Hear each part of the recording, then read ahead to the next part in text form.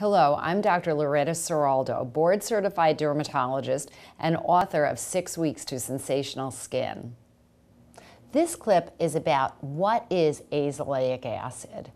Azelaic acid is a compound which we as dermatologists know can be very, very good when used topically in the treatment of acne. And actually, there are two prescription products that have been developed for acne that are based on azelaic acid. The first is called Azelex, and interestingly enough, that was a 20% azelaic acid product, which came to market several years ago but did not prove highly effective.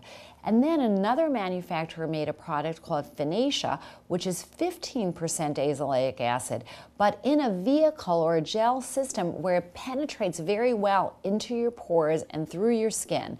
So if you're interested in azelaic acid to treat acne, ask your doctor for Finacea prescription. This is Dr. Loretta Ciraldo in Miami.